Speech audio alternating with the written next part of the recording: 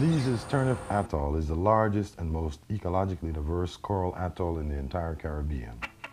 Its incredibly diverse habitats create one of the most productive and ecologically sensitive marine environments in this hemisphere.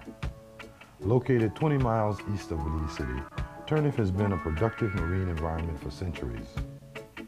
Over the past decade, Belize has become known as an international leader in protecting its exceptional environment with many of its natural treasures now under protected status. There are more than a dozen marine protected areas along Belize's barrier reef and on the other coral atolls in Belize. But somehow, Turneffe, one of the Caribbean's real gems, has thus far been overlooked. The Turneffe Atoll, approximately 30 miles long and 10 miles wide, is surrounded by waters more than 3,000 meters deep. An atoll is defined as a continuous coral reef surrounding a central lagoon, and Turneffe's large seagrass-covered lagoons are much like saltwater lakes, with channels connecting them to the open ocean. These central lagoons are surrounded by a vast system of mangrove islands, which are in turn surrounded by back reef flats and the spectacular coral reef. It is the interdependence of the various habitats that makes Turneffe such a special and productive area. Each individual habitat of the atoll depends upon the others for survival. If one is harmed, the others suffer as well.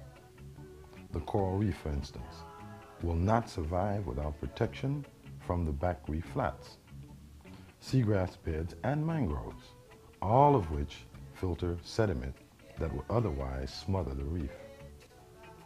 And the entire ecosystem would falter without mangroves providing nutrients, buffering the atoll from storms, and providing essential habitat for juvenile fish. Along Turneffe's Reef are several spectacular spawning aggregation sites where massive schools of fish converge to reproduce. After adult fish spawn on or outside the reef, their larvae are protected in the seagrass lagoons, and the juveniles grow up on the back reef flats, seagrass beds, or among the mangrove roots. If one portion of the life cycle is damaged, the entire population is threatened.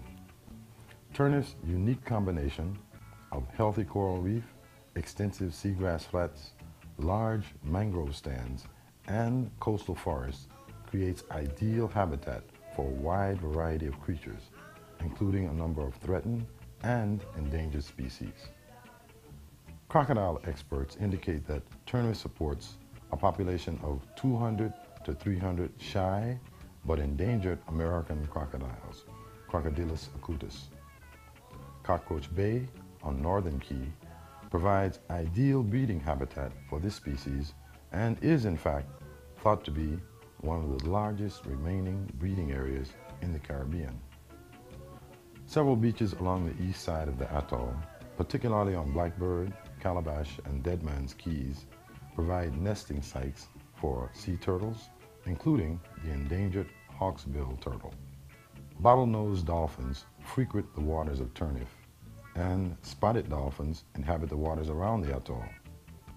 The seagrass-covered lagoons and creeks of Turneffe provide important habitat for a healthy population of Antillean manatees. Turneffe is inhabited by approximately 60 bird species, including the royal tern, the least tern, and the endangered roseate tern. Soldier Key, Pelican Key, and the Grassy Key Range have been documented as nesting sites for terns. The extensive and healthy back reef flats at Turneffe provide essential habitat for a wide variety of adult and juvenile fish, as well as invertebrates such as conch. They are also home to large schools of bonefish.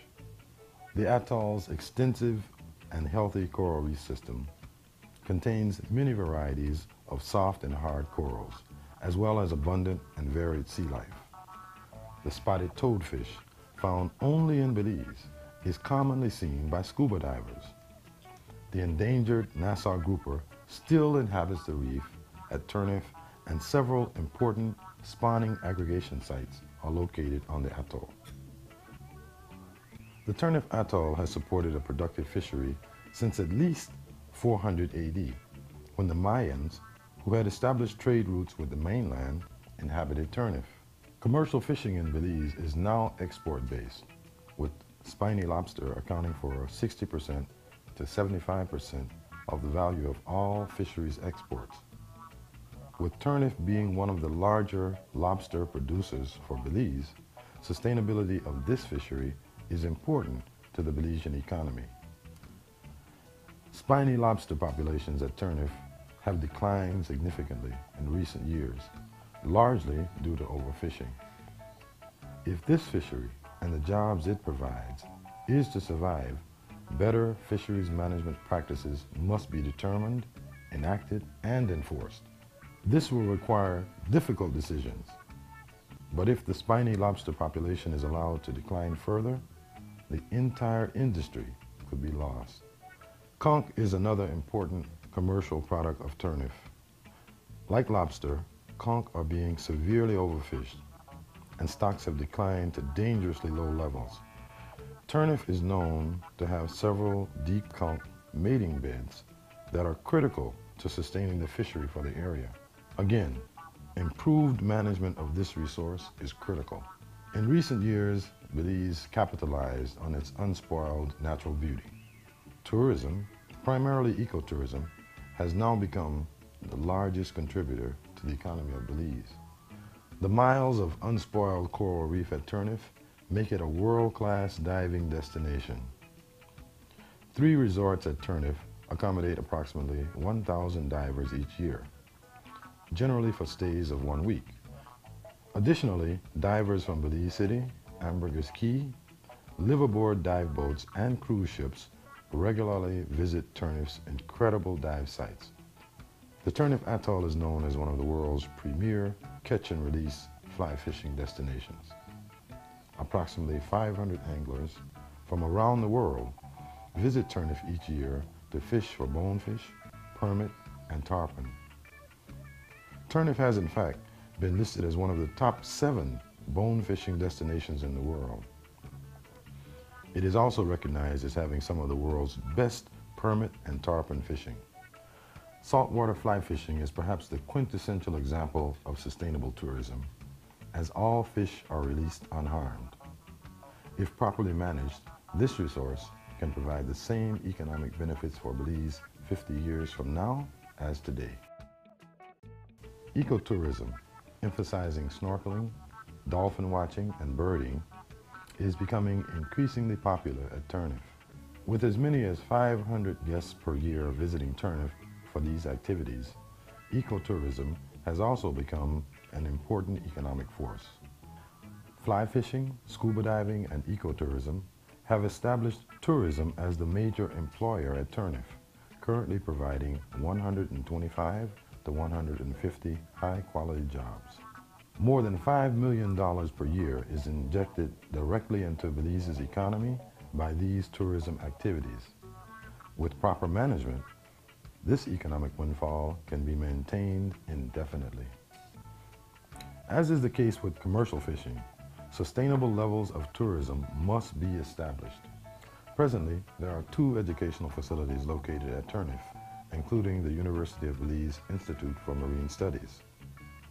These facilities support research critical to the survival of Turneffe and similar coastal environments. While many other marine locations in the Caribbean have been significantly degraded by human-caused disturbances, Turneffe has, until recently, escaped serious degradation of its habitats.